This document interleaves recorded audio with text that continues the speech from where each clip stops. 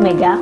Ya, pertanyaan tentang Ibu Meliana bagus. Itu menunjukkan tanda uh, empati kita ya terhadap sesama warga bangsa yang mengalami uh, apa ketidakadilan. Menurut saya ini adalah uh, ketidakadilan karena Ibu Meliana itu kan cuma mengeluhkan suara azan. Dia tidak melakukan penistaan terhadap siapa-siapa. Mestinya juga disikapi dengan cara-cara yang bijak.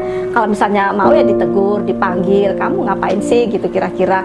Dan dia juga anehnya ya, saya setelah saya mempelajari kasusnya itu dia me, apa mengeluh soal suara azan itu lama dua tahun setelah itu baru di, diperiksa kasusnya ini kan ada yang hal yang aneh menurut saya ini dipolitisasi ya oleh eh, kelompok-kelompok uh, yang menurut saya yang sangat tidak uh, tidak kondusif untuk membangun uh, perdamaian. Saya baru-baru ini uh, datang mengunjungi uh, Ibu Meliana di penjara dan saya sangat sedih seorang yang sangat uh, baik warga biasa dan hanya mempertanyakan suara azan ini kenapa uh, kenapa besar gitu ya. Nah inilah orang itu sering me, apa sering memahami agama itu secara uh, keterlaluan. Maksud saya itu melampaui batas ya. Dikiranya kalau kita mengeritik uh, masjid mengeritik uh, azan lalu kita dianggap mengeritik Tuhan iya beda lah. Ya sal Tuhan itu bahkan kalau Tuhan kita mengeritik Tuhan Tuhan itu nggak pernah marah ya. Jadi buat saya ikutilah eh, sifat-sifat uh, Tuhan itu yang maha pengasih, maha penyayang, yang maha lembut. Tuhan itu kan maha, maha, maha, maha seperti yang kita yakini seperti dalam Islam kita selalu mengatakan Bismillahirrahmanirrahim. Artinya dengan nama Allah yang maha pengasih lagi maha penyayang. Jadi sifat-sifat Tuhan yang maha pengasih dan maha penyayang ini mestinya juga menurun dong kepada kita sebagai uh, umat yang mengaku sebagai ciptaan Tuhan, sebagai umat beragama.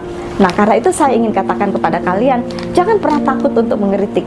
Cuma mengeritiknya saya selalu sarankan kritiklah dengan cara-cara yang halus, ya dengan cara-cara yang sopan dan juga bertanggung jawab. Kita bisa menyampaikan secara tertulis. Misalnya kalau ada uh, suara azan yang terlalu besar ya, bisa kita menulis ya secara sopan lalu kita sampaikan kepada tiap masjid Pak di, di daerah sekitar sini banyak loh bayi-bayi ya kasihan mereka baru tidur terus dengar suara azan kok nah boleh nggak itu uh, toanya itu uh, dipasang ke dalam aja. Jadi yang dengar hanya hanyalah mereka yang sudah kumpul di dalam masjid. Jangan orang yang di luar yang nggak ada urusannya dengan uh, ibadah misalnya. Karena kalau di luar mungkin hanya bisa ditolerir hanya untuk uh, azannya aja. Kan nggak lama tuh hanya 2-3 menit. Nah yang nanti tuh yang ngajinya yang ceramahnya yang apanya itu mungkin ya bisa kita pakai di dalam gitu. Pakai artinya pakai toa pakai uh, loudspeaker. Tapi loudspeakernya itu ditaruh ke dalam. Itu pernah loh kita praktekkan di masjid Pondok Indah dan berhasil, nggak masalah.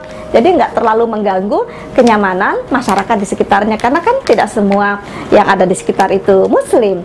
Di masyarakat masyarakat kita kan masyarakat yang sangat heterogen, ada berbagai macam agama di masyarakat karena itu supaya kita tidak saling mengganggu satu sama lain gereja jangan terlalu besar dentingan loncengnya terus juga dipihara di mana pokoknya kita saling menjaga deh. Karena itu menurut saya apa yang terjadi pada Ibu Meliana ini adalah sebuah ketidakadilan.